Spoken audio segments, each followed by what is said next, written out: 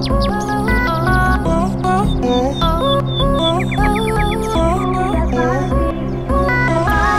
earlier this month, we went for a 24 hours family trip to Royal State Park. We went to the two famous waterfalls and also visited the Orang Asli village. So here it is. This is our journey.